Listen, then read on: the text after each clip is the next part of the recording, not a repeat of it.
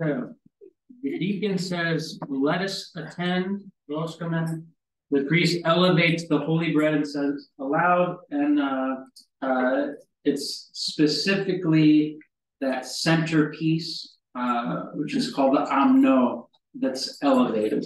So that there's also the piece, if you guys remember way back when, uh, at the Proskomedia, there's the piece for the Theotokos, there's the pieces, piece or pieces for the saints.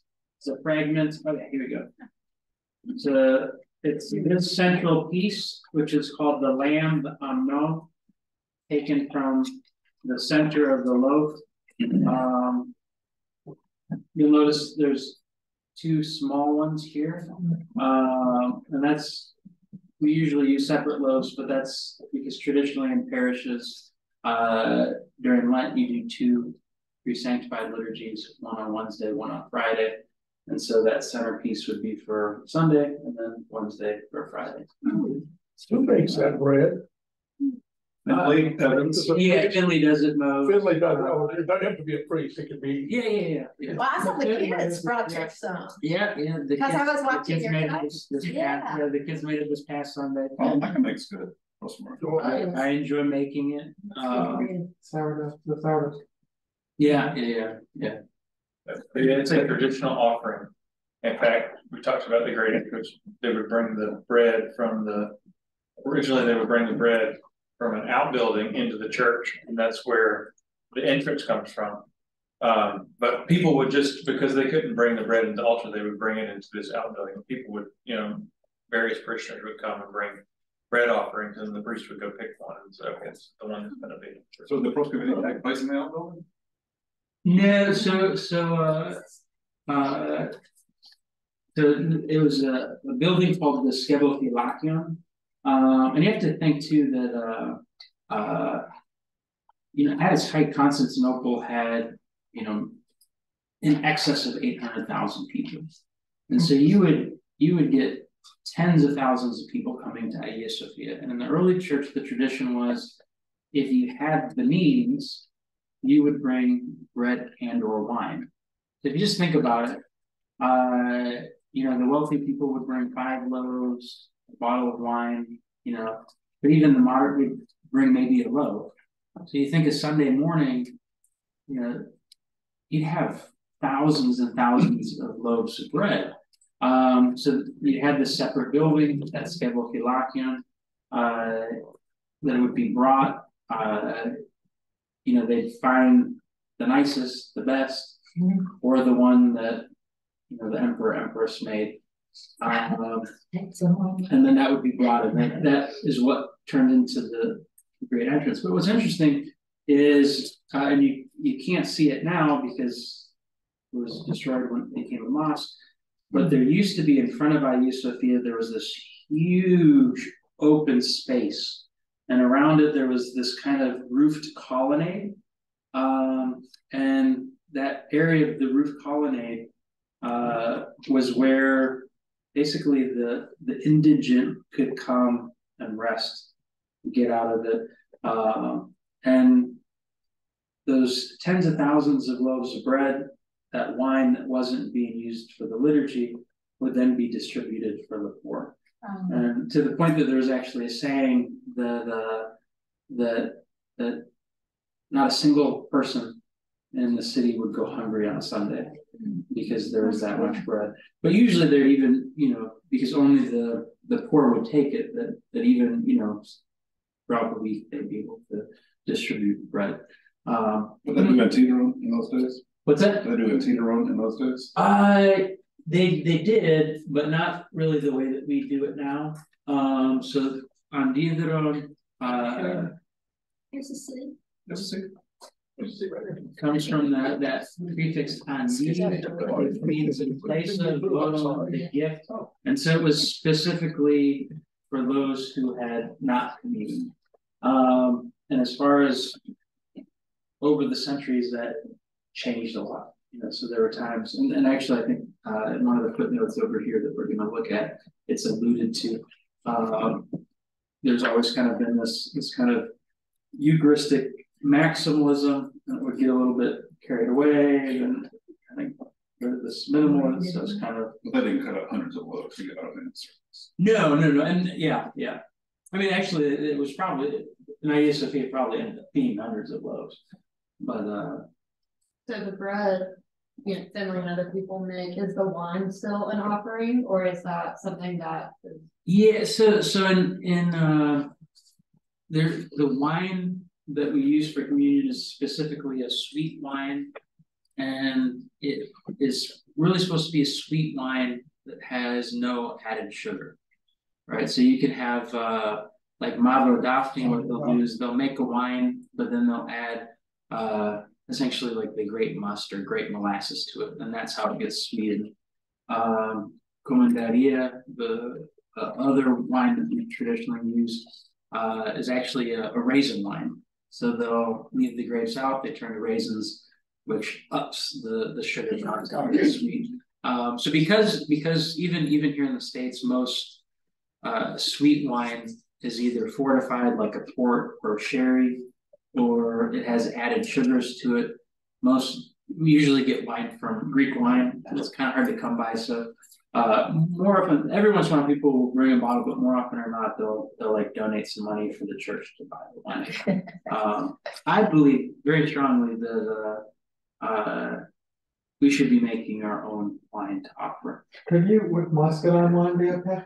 I If you like, I I I have I have used it before, but I've never, and I actually, there there's a. There's a place uh in Harpersville actually that makes it, and I thought that would be really cool, let's use a a local sweet one. like your Alabama incense. Yeah, exactly, I mean, Alabama, and There's a blueberry wine too. uh, but uh, it's it's sugar, uh, yeah, they add a lot of sugar. What about Mogen David? Uh, so we we have used, a lot of churches have used Mogen David, Many habits. Yeah. um, uh, both both cases added sugar. They do have it. Mogen David? What about, Go uh, ahead. is, what about like things, uh, pardon, but like. Is it just sugar or is are there any type of sweetener? It's like. We make. Should be a hundred percent, there's should be hundred percent grape, So yeah, no no, grape yeah, and yeast and Okay, okay. fermenting stuff. with them. okay. Some people also are concerned about Manischewitz because it's kosher, it's blessed Jewish wine. Yeah. For Yeah. different, you know, religious purpose. I just think it's gross, for. They add, they add sugar to Mogen David, why do they need to? It's, so- it's so sweet, it's ridiculous. Well, So that's what. That's that- that's why, that's why Well, you're I know, tasting the sugar. I thought it was natural, is it, is that naturally, not Yeah. naturally sweet at all? Yeah. So, so basically the I way, mean, it probably is, it's a Concord grape, Yeah. uh, so it's probably already on the sweeter side, but. I don't know, the way that wine fermentation works is they use a relatively strong yeast that can handle high levels of alcohol. And it will chew through and turn into alcohol, all the sugar that's in the base product. The best product, So you either have to stop the fermentation process. which is While brandy. there's still, still sugar left in it by like heating it or freezing it or doing something else like that. You or adding brandy in chemicals. wine just to stop the fermentation. Yes, uh, so that would just raise the alcohol. Yeah, level, but but that's alcohol. fortified like a Yeah. Right. which again is something you shouldn't do. That's adding chemicals to change, you know, to change the process. Or you add a softener or sweetener afterwards. You do something to kill off all the yeast in the product and then you add a sweetener afterwards. Um, and it sounds like Yeah. that's what we're doing, they're doing with the, this grape must and the. Yeah, yeah, um, not exactly. the But some Doubt. parishes make their own wine. There, there's a few, there's a few, weird. yeah, yeah. Um, And in Europe, I mean, I think that's still in a lot of. Yeah, places in yeah, And, yeah. and in Greece is still, Yeah, yeah. yeah. But then they went to Albania, they sent her home with like Three liter bottles of wine. Like, like they make it and put it in a three liter soda bottle. I, I I was uh, like, I cannot take this on the plane. They're like, yeah, you can, just put taper on the top. I had, I had a friend who was from Romania and he would, uh, every time he would go back from Romania, he'd come back and he'd just have like. Like liter water jars, like just filled with this like, uh, clear plum brandy. Um, That's true. And this stuff must have been like a hundred and thousand. You take a sip and it would be like someone drop kicking in the forehead. But uh, I remember he he he he comes in with the bottle, and it's like, let's let's have some celebrate, I don't even remember. It doesn't take a lot for me to celebrate. Uh, like, do you have any cups? I was like, yeah, yeah, so I get some for like coffee, some styrofoam cups, and he's like, oh, no, no, no, no. I can't put it in styrofoam because it'll. uh, it'll-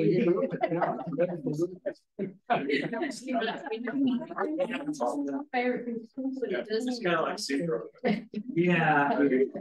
Yeah. Alright, the holy things that are to be given as, as uh.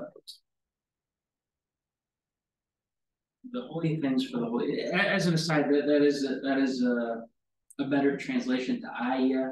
Uh, holies, the holies, plural, uh, for the holies, plural. The holy for the things, we've, we've kind of, uh, added some theological interpretation into the holy things for the holy people of God, but really the holy things are the holies for the holies. Um, is the better translation. The holy things that are to be given as communion to the holy are the holy body and precious blood of Christ. Christ is the only one who is by nature holy, the one and only Lord. We can be called holy only because we are participants in his holiness. The faithful are called holy on account of the Holy One in whom they participate and in whose holy body and blood they commune. The elevation of the holy body of Christ performed by the celebrant at this moment images his lifting up on the cross, his death by crucifixion, and indeed his resurrection. Christ is lifted up in the hands of the priest as upon the cross. The act of lifting up signifies that communion in the immaculate mysteries is not permitted to all indiscriminately, for holy things are to be given only to the holy. Holy not meaning here only those who are perfect in virtue, but also those who are struggling to attain that perfection. For there is nothing that prevents them to being sanctified through partaking of the mysteries. The holy are not struggling only to rid themselves of sin, but also to acquire the Holy Spirit. Commenting on the phrase, the holy things for the holy, St. John Chrysostom says, with a loud voice and a terrible cry, the priest raising his hands aloft like a herald standing up high and visible to all the people, cries out in a loud voice amidst the total silence, calling some to take communion and barring others, not with his hand, but with his voice. When the priest says the holy things for the holy, he means whoever is not holy, let him not approach. He does not say that only that one should be simply pure of sin, but holy. For the holy person is distinguished not just by being free of sins, but also by the presence of the Holy Spirit and a wealth of good works. He is saying, I do not merely want you to be free of filth, but to be white and beautiful. Whoever is like that, let him approach and touch the royal cups. Any any questions? Anything stand out? That's pretty high bar. Yeah, that's what I was thinking. Yeah, you, you have to you have to really uh so going back to uh earlier reading, but also those who are struggling to attain, right? Um I think with Chrysostom, you kind of have to, he has some very, very strong language. Um, If uh you ever get a chance to read his book on the priesthood, um, I, I, uh. Very, very strong, but anyway, I, I always like to balance when he's firm like that with his Paschal homily. Where he, he shows this really uh, overabundance of, of compassion. Um, and here he's in the Paschal homily, of course, he's inviting the people to eat uh, at the Lord's table ultimately. Um, and he says, even those who have not fasted, so even those who are not pure, who have not lived uh, that life, that don't have the virtue to offer. Um, he says, you too come. Um, and in part because of that, that beautiful line he honors the intent. So if the struggle is there, even if we fail, uh, it's that struggle that's that's honored. I think it's interesting with Chrysostom because I mean he's coming at a time where it's right on the heels culturally of the end of the massive persecution of Christians. You know, you're ending a generation of people, Christians, who were dying for their faith by the thousands. So that was just you know this living it completely. So the super high standard, right? And Christianity is becoming widespread, common, you know, people who barely pay lip service to it or are doing it for political reasons or whatever, so. It's a really interesting time, and a lot of what he, he, he sets a lot of really high standards, I think. Yeah, yeah, yeah. Yeah. I don't know that. Um.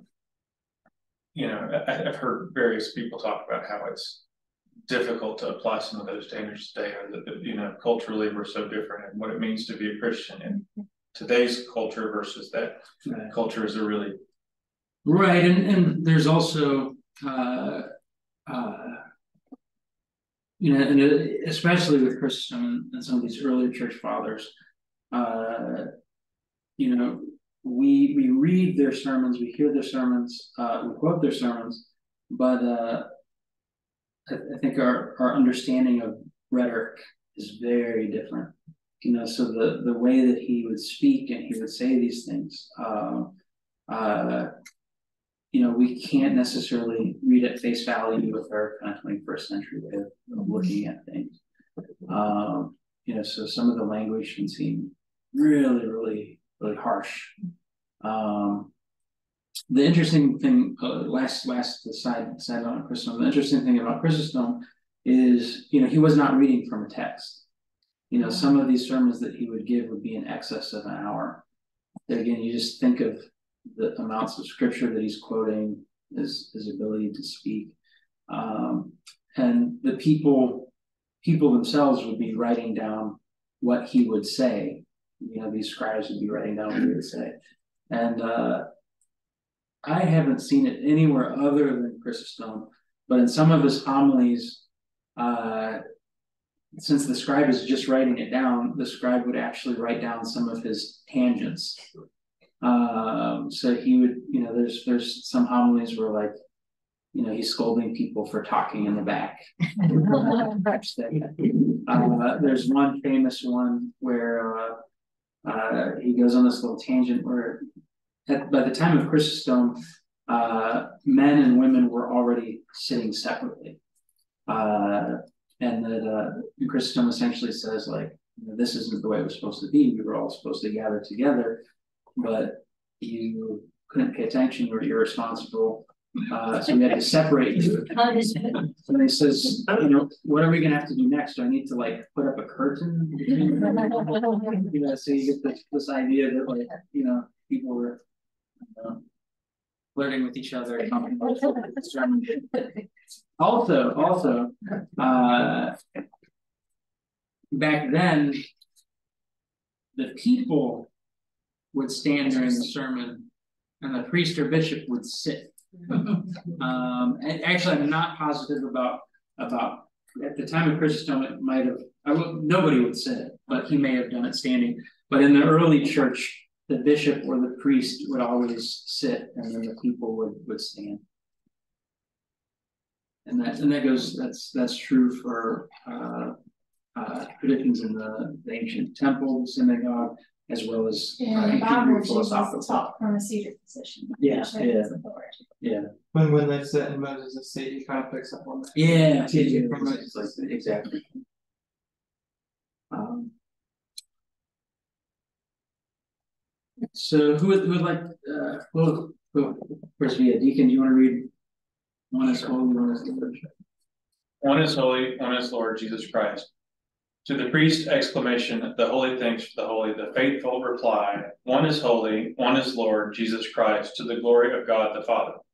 The response of the faithful is a confession that through the only begotten Son, who became incarnate and was crucified, we have been sanctified and saved from death and have obtained immortality.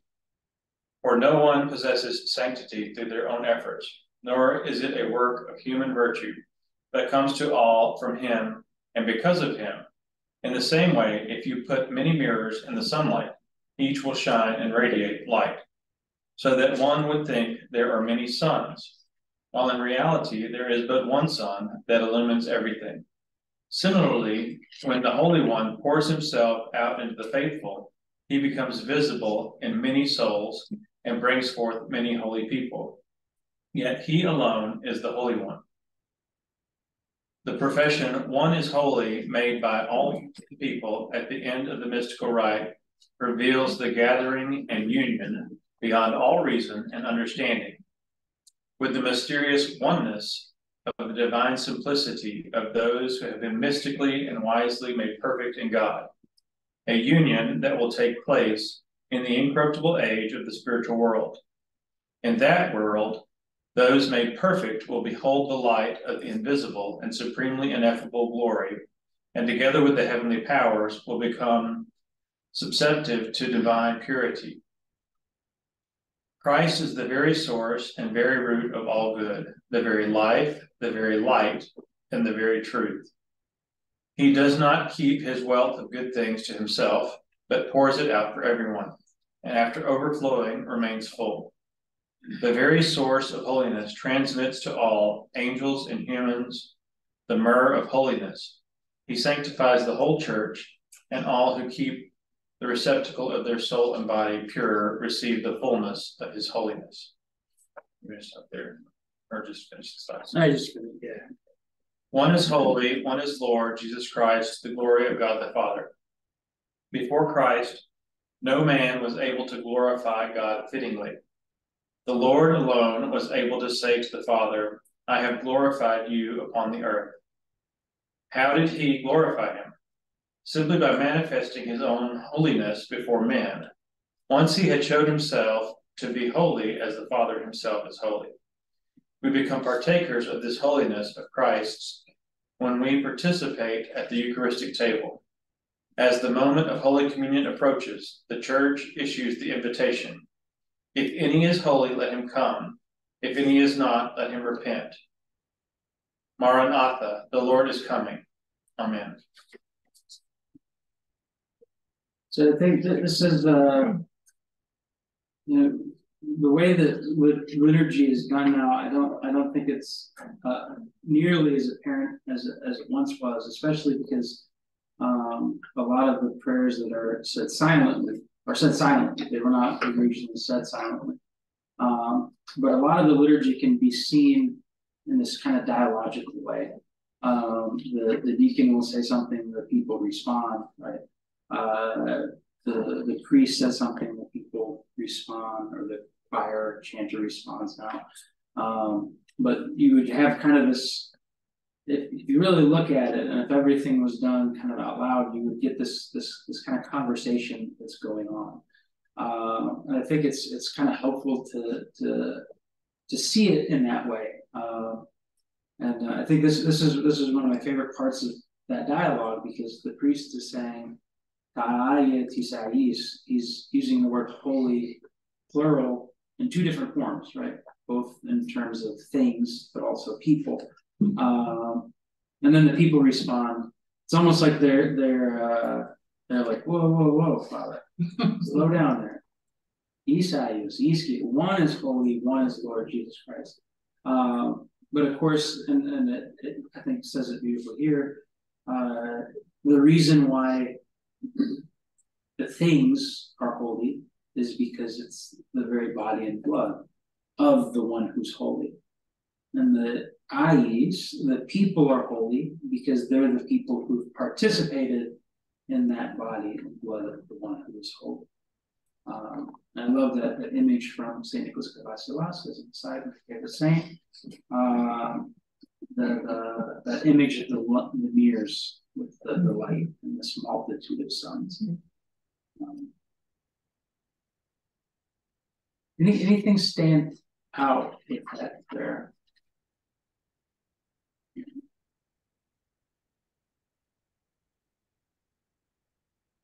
The one is holy, one is Lord.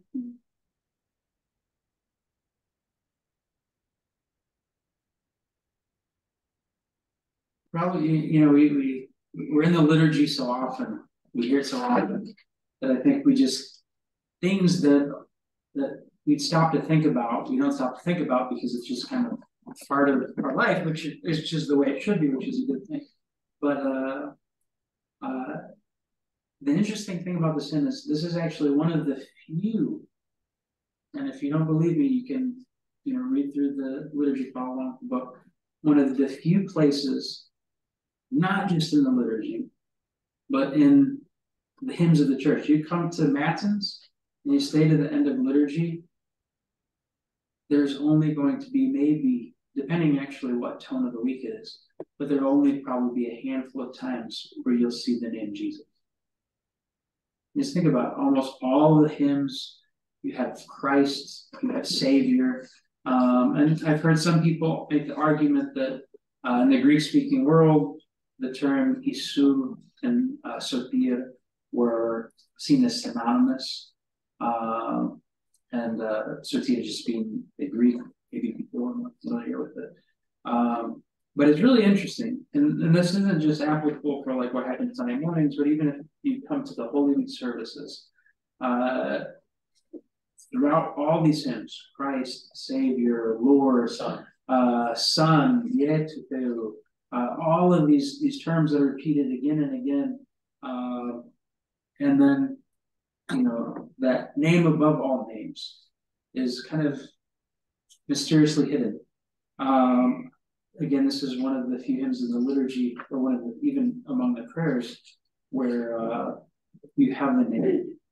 And I think uh, again, there's, I think scholars tend to lean more towards this idea that uh, Sotir in the early church was seen as synonymous with Isu. Uh, but uh, you know, if you kind of read between the lines of some of the church fathers, uh, you you get the sense that that that name has a, a certain intimacy with it. Because again, if you think about, you know, at least for the last thousand plus years, uh, the main work of most people that would dedicate their life to monasticism really comes down to just repeating that name. Everything else, apart from services, is, is kind of an aside. It's the saying the Jesus prayer, repeating that name. Um, and so I think there was just kind of this this intimacy with that name. So it's not that it wasn't valued, but in a sense similar to uh, uh, I think we all do it. Uh, I think famously the the rabbis had the tradition of not saying the name of, of God or even spelling it because of, again this intimacy or sacredness. Um, you know, uh, we have sweet names for our loved ones. You know, the the uh, you use in public. You know, not because we don't value that person or that name's not meaningful, but uh, you know, it just has that, that intimacy. It's something that I share with this person. Not to mention, you know, uh, some of the names, you know, especially couples use with each other, kind of, kind of cringy if you're not, you're not in on it. Um, uh, I think it's interesting though to say that we don't hear it very often because you see it all the time. Because it's on every icon. yeah, yeah, yeah. And, Yeah. and what is the priest, we It's talked about this yeah, last time, right? And he's literally blessing you with the name of Jesus. Literally, you know, that's what he's doing with his hand. It's on the bread, Right. they're gonna receive the name written right on top, you know, so it's like, it's written everywhere. We see it Sort of. everywhere. Sort of. Jesus But Christus. it's all, But it's also it's also kind of almost like that that Jewish G dash D. Yeah. Right, we have the first letter and the last letter, Mhm. but uh, Yeah. but again, this is this is This it puts was to very bed Protestant notions of Mhm. Christ being so devoted to the saints and his mother and whatnot. This is like, kind of like the apex. yeah yeah yeah Fair yeah yeah yeah. I mean, and and, and of course we use in our weird English language we use the the Latinate, but saint is just the Latin for holy. You know, the Greek is ios, ios, Demetrios, ios. You know, so if, if again, you know, if someone's uncomfortable coming into church, oh, that person's holy, that person, that person's holy. Mm, you know, there's one that's holy. Because that one is holy, they're also holy.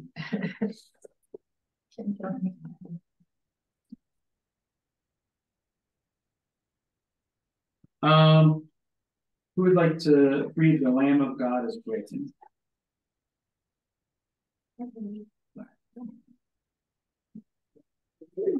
The deacon says to the priest, Master, break the holy bread. The priest breaks the lamb into four parts, saying, "The Lamb of God is broken and distributed, broken yet not divided, ever eaten yet never consumed, but sanctifying those who partake. At the first divine liturgy be celebrated on earth, Christ broke the bread into pieces and gave it to his disciples, saying, Take, eat, this is my body which is broken for you. This action of the Lord of the Lord is repeated at every liturgy and is called the fraction or breaking of the holy body. The celebrant divides the Lamb of God into four parts. He places them on the paten in the form of a cross, and once he himself has received communion, he will then give communion to the faithful. This dividing into pieces of the lamb reveals the slaughter of the honored one. At the crucifixion, the soldiers did not break Christ's legs, as they did with the thieves crucified with him, that the scripture might be fulfilled, a bone of him shall not be broken. In the sacrifice of the liturgy, however, the Lord is broken into pieces and offered to the faithful. St. John Chrysostom underlines, what Christ did not suffer on the cross, he undergoes the offering for your sake, and he endures to be broken so that all may be filled. The fraction is the act that reveals Christ par excellence. It was in the breaking of bread that the two disciples recognized him in Emmaus, and the earliest Christians used the term breaking of bread for the Eucharist. Through the breaking of the bread, the undivided Christ is divided up and shared out for our sake, so that we may all be partakers of him. And while being indivisible, he is divided for us, uniting us with himself and making us one as he prayed for in his prayer to God the Father. Um, but just, just a little aside there, if, if, uh. If you go back throughout the gospel accounts, um, there's this, this repeated, and obviously when it's discussing the Last Supper, the mystical supper, there's this, uh, this blessing, breaking, giving to the disciples. Uh, but also the miracle of the, the loaves and fish. Right? It's that same bless, break, give. Um, and that giving is to the the disciples who then give, or the apostles who then give to the people. Um, so it's not just uh, specifically at the Lord's Supper that this this language is used. Um, as as is mentioned here at the Emmaus, and Emmaus blesses, breaks the bread, and it's in the breaking that he's he's recognized. Do you think the miracles of feeding the multitudes from a little bit the foreshadowing of the Eucharist, one body broken? Yeah, yeah, yeah. So so the earliest, actually the earliest uh uh kind of liturgical text that we have is something called the Didache of the Twelve Apostles, which is actually uh as old, if not older than most of the the New Testament. Uh, so very, very early text. Um, and uh, the the interestingly enough, the anaphora prayer uh, doesn't mention directly the supper, the Lord's Supper. It actually talks about how as the uh, loaves were broken and distributed, and then what happens after uh, the people feed It's twelve baskets yeah, they're they're brought back together. Uh, the priest says, uh, as they were gathered, let your people be gathered together into your kingdom. That's awesome. Uh, and it's and it's even more like kind of powerful when you understand that uh, the the church as the new Israel, um, and the people, you know, again, twelve tribes. The twelve are now we're now being gathered together into this, this new Israel.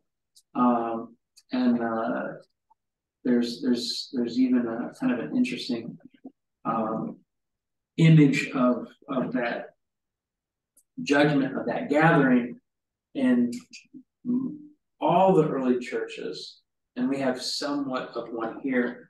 There was behind the altar a synthronon, so the bishop's throne properly was directly behind the holy table. And there would be seats or a bench around, kind of in that, that circle around the scene throne. Um, and the bishop, who is an icon of Christ, the priests who are icons of the apostles, would would kind of image this this uh, this judgment with the table. You read the book of Revelations. What does it show? You have God who's enthroned to his left and his right are the thrones of the uh, apostles the lamb that was slain is brought forward.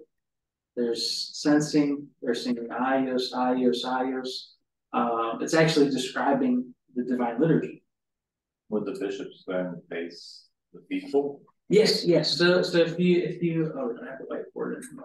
Um, so the, yeah, the, this church, every time I look into, but, uh, uh, the, the first liturgies, I mean, obviously, the first liturgy was done at a table, right? Um, and so the, if, if we look at some of the early, uh, paintings, images that we have, like the catacombs in Rome, uh, that table was actually either uh, a horseshoe or kind of a, a crescent shaped table. Um, with the, the bishop would sit kind of at the pinnacle of that, that horseshoe. That's not right. Oh yeah, here, here's a, a beautiful picture of a scene for there's no longer an altar, but that, that would be kind of like what it would look like. There'd usually be a little bit more of a seat in that center. Um, Do you have tears? Or do you have tears on them? yeah, so so the the tiers, uh, those are just steps that are going up. So they would sit on the, the bench there, and then there'd be usually a throne that would be kind of attached there in the middle. Um, but if you think about it, if you have like a horseshoe, the bishop would kind of be at the center. The presbyters would be to his left and his right, and the people would be on the other side of the table. And the deacon was the one who would bring to the people, would bring the prayers, or the bread and wine, the gifts of the people to the priest. The deacon kind of worked as uh, uh, the one who moved between the the people and and the bishop. Uh, Isn't the church of Thessaloniki, that's where the stone hall stood on the face on the synagogue? uh, it might be, it might be. I'm No, not that stone is off to the side. of the Yeah, yeah, It's, yeah. it's more like a, like, today it's just, it's a ground level headstone. And it's just marked. It's like, Yeah, it's exposed, but just like barely, like, they tore the floor right there, you can see for what. But, um, the church is built on the old synagogue, and so it's nearby, but it's like, it's unchecked, just to the right of the altar. So, Does that still literally like if Bishop Sebastian were to go to a church that had an actual sacrament, would that become part of the liturgy or uh, with them, or is that more? I know some Slavic traditions still do, um, but I, I've seen it, um, when there's like, uh, but the, the issue now too is the iconostas has been so built up Mhm. that even if it's raised, you're not gonna, you're not gonna be able to see him. So I remember when, uh, Archbishop Demetrius would, would serve at the seminary, um, some of the prayers that we see the bishop do from the front of the altar, like the blessing with the candles, uh, Archbishop would actually do behind the altar, um, where the scene throne was. I mean, again, in the case of the seminary, it's more like a. Those most- the- Early, early iconostasis were like the one in our chapel or the one at the chapel. Yeah, right. Yeah, yeah, yeah, Short yeah, yeah. I mean, and, and, and, uh, and that was, that was, it really wasn't until, uh, the triumph of orthodoxy that you even put icons on them. Uh, so not that there wasn't a lot of iconography in churches from, from, I mean, synagogues in first century Palestine were filled with iconography. Uh, everything was filled with iconography back then, or, or images. Uh, but, uh, really from the time of uh the Seventh Ecumenical Council, of Orthodoxy, they just got higher and higher and higher and higher. So you get to some. Yeah, yeah, yeah, yeah. Um, but then again, you know, you have uh Ethiopia that never really had that struggle with iconoclasm. Um, their, some of their churches are like, it's not even like. There's like a little door and like a wall that's from ceiling to wall with like windows in it. It's very kind of distinct. and they have, they've always had icons on theirs, Yeah, yeah. on their console. And I think even some of the earlier ones would have like. Uh, no, the, there was one I saw in Athens that was in some of the ruins that was like had the half wall like that, but I think it had. some sort of carvings or something. Yeah, yeah, yeah. Such So, so Imagery of some sort was still present. Yeah, so uh if you guys ever go to uh the site of the Olympic Games uh in in Greece, you know, there's there's all these remains of all these like temples. But in the midst of it, there's actually uh the remains of a church. Uh and I think I think the church is, have you been? I think it's like sixth or seventh century, Yeah. very, very early. Um and it still has that kind of waist high wall um, and has like some carved stone crosses. And then, then uh, even when there was that, there would usually be kind of pillars to differentiate the Ore from the, the beautiful gate from the rest. Uh, I, I haven't found any real evidence of it, but if you kind of think about it, you have this kind of wall, but there'd always be these kind of two big pillars between you and the altar. I think it's kind of a beautiful image. One of, you know, the pillar of smoke and fire that led the people in Exodus out of the land of Egypt. Um, but also, if, if you've seen any kind of artistic recreations of the Temple of Solomon, there are these two kind of central pillars dominant. Like to takers on reading.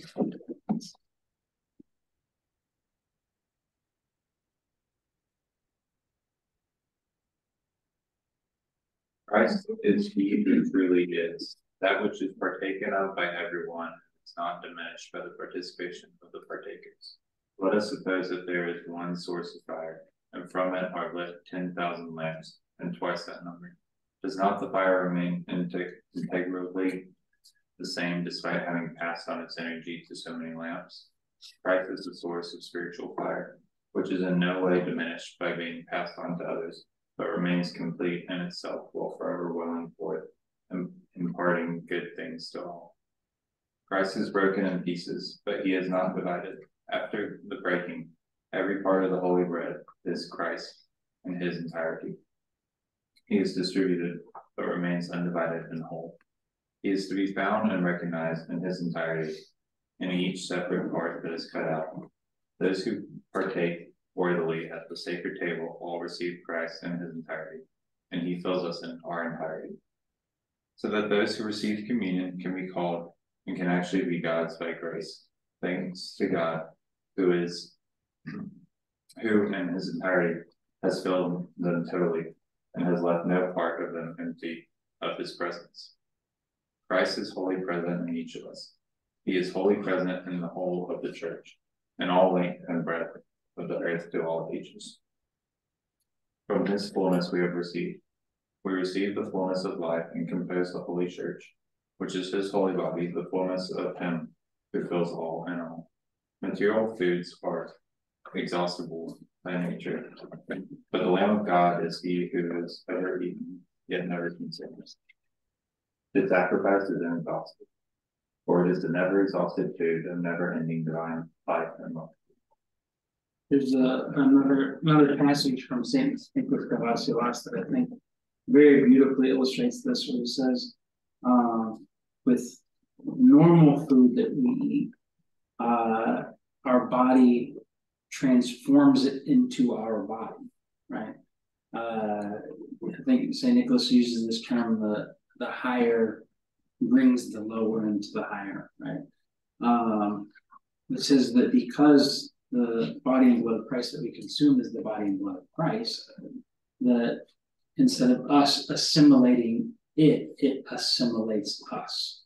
And that's also why we can talk about the church as being the body of Christ.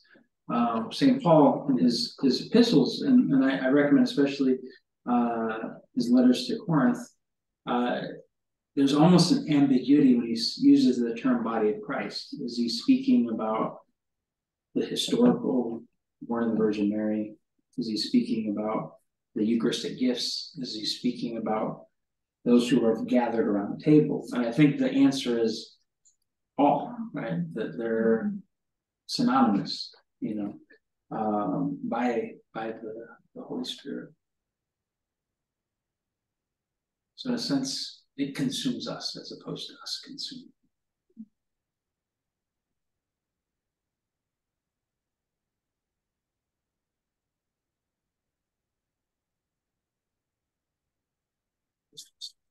Uh, deacon, master, fill the holy cup. Again, this is you know it's it's uh, you guys are used to it here, but it's really uncommon, especially in this country, to have a deacon to do services.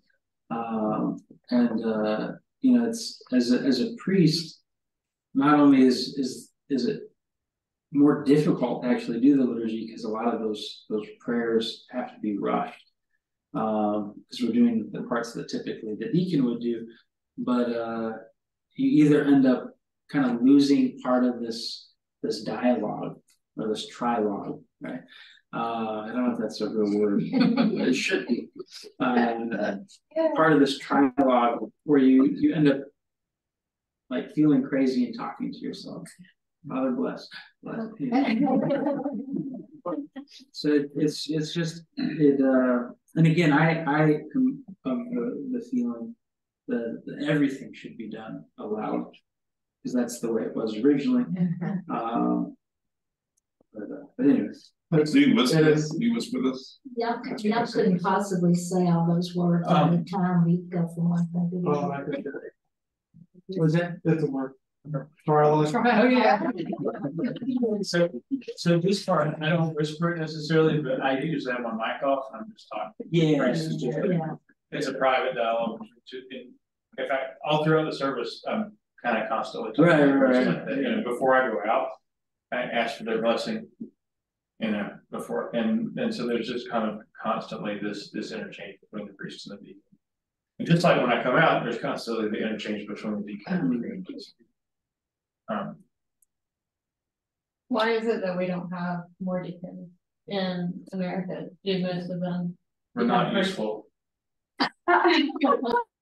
Yeah, this. not utilitarian is probably better, we're useful. So, so the, uh, I mean, this, the, the reality is, uh, that, uh. uh, parish priests, like, are, are, now there's, there's pastoral, there's all these things. But the essentials are. Your babies need baptized. Liturgy needs to happen on Sundays. People need to get married, people need to get buried. All of those kind of uh all of those things a priest can do a deacon can't do. Uh i mean a deacon can actually lay people can do baptisms in, in times of emergency. But really to do a liturgy you need a priest. Uh and so if if someone has kind of historically kind of gone the route of a seminary and stuff you know even if they want to remain a deacon you know the bishop's usually like oh got three parishes without um, you know, so they, they kind of, kind of rushed along. Um, and even, even in larger communities, um, you know, the, the sometimes the, the older priest wants to, uh, go up to Pennsylvania to visit his family, so there's another priest, they can, they can fill in the lights. Dr. Skinner was telling me that up until recently, priests are not taught how to use a deacon. Yeah, no, I, I, I mean, there always were deacons at seminary, just because, uh, but I obviously wasn't a, priest back then. Um, so. Yeah, most, most, I mean, I'm sure you have experience. Well, even, even when, when Father Gregory's gone, and I'm serving with Deacon Tikhon, because when I'm usually the protos, the main celebrant, you know, it's during weekday services when Deacon Tikhon's not here. And so that it's not uncommon for, for me to like steal one of his lines or or something, but, uh. Now, are there more deacons in Greece itself, or is it kind of the same track? Um, I, I think, not, not that they're, I, I think even in Greece, most of the deacons do end up becoming priests. Uh, but most part, most, most of the time, I think they have a longer diaconate. It's more of a, the years sometimes, um, until they're made priest. I think I was a, I was a deacon for two weeks at, so. The Holy Yeah, There's been a don't pull towards the permanent diaconate. you know, like Father was saying earlier, initially, the bishop did the service and the priests were sitting there beside him, and they would, you know, and there was a really important role for the bishop liturgically, like in all the Eucharistic services. And the deacon had a role, And then there's this kind of pull towards, from both sides, honestly. Some of the stuff that the pre, the bishop exclusively did, and some of the stuff that the deacon exclusively did kind of got. Pulled into the priesthood, which grew over time, Yeah, because it's more utilitarian to have.